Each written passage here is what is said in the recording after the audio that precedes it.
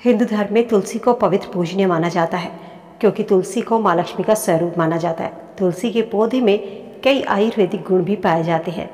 कहते हैं तुलसी की पत्ती, तुलसी की जड़ और तुलसी के बीज में कई गुण मौजूद होते हैं, जो बेहद फलदायी होते हैं। ठीक उसी तरह तुलसी की मंजरी भी विशेष लाभकारी होती है। तुलसी के पौधे पर जब मंजरी आने लगे तो इसे बहुत ही शुभ संकेत माना जाता है। कहते हैं जब तुलसी की मंजरी आए तो समझिए माँ लक्ष्मी आप पर मेहरबान होने वाली है। आज के इस वीडियो में हम आपको तुलसी की मजरी के कुछ उपाय बताने वाले हैं। इन उपायों से माँ लक्ष्मी और भगवान विष्णु की कृपा घर परिवार पर बनी रहती है। यदि आप आर्थिक तंगी से परेशान हैं, घर में सुख शांति नहीं रहती रोज रोज लड़ाई झगड़े होते हैं या विवाह में किसी तरह की समस्या आ रही है तो तुलसी की मंजरी के ये उपाय आपकी समस्या को कम कर सकते हैं। तुलसी को धन की देवी माँ लक्ष्मी का स्वरूप माना जाता है। कहते हैं, तुलसी कोई साधारण पौधा नहीं है। तुलसी में साक्षात माँ लक्ष्मी का वास होता है। शास्त्र कहता है कि तुलसी के पौधे पर हरी मंजरी का आना बहुत ही शुभ माना जाता है। ज्योतिष शास्त्र में तुलसी की मंजरी के कुछ उपाय बताए गए हैं, जिनको करने से माँ लक्ष्मी प्रसन्न होती हैं और व्यक्ति को धन लाभ मिलने लगता है। तो चलिए जानते हैं तुलसी की मंजरी के किए जाने वाले उपायों के बारे में।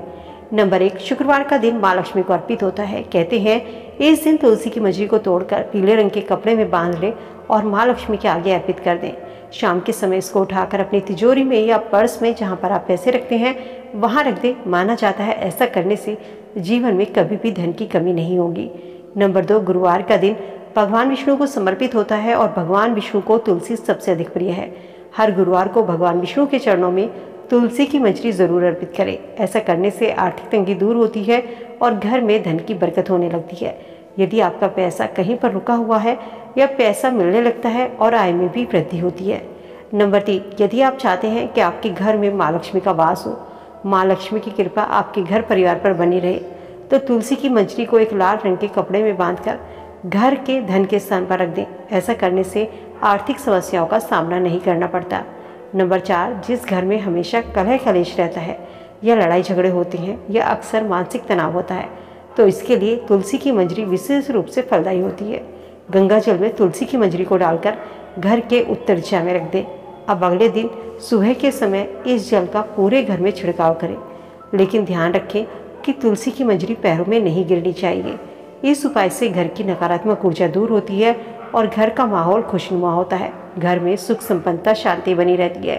तुलसी की मंजरी का यह उपाय शुक्रवार के दिन करना बहुत ही शुभ माना जाता है। माँ लक्ष्मी की पूजा करते समय शुक्रवार के दिन तुलसी की मंजरी ज़रूर अर्पित करें। इसे करने से माँ लक्ष्मी की कृपा घर परिवार पर सदैव बनी रहती है और धन का घर में आगमन रहता है।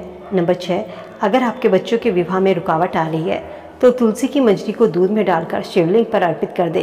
कहते हैं इस उपाय को करने से शादी में आने वाली बाधाएँ दूर होती है और शादी के जल्द ही योग बनने लगते हैं। नंबर सात, तुलसी की मंजरी को तोड़कर पूजा के स्थान पर रखने से यह धन को अपनी ओर खींचती है। घर में सदैव सुख समृद्धि का वास होता है तुलसी को साक्षात दूसरों का माँ लक्ष्मी का स्वरूप माना जाता है।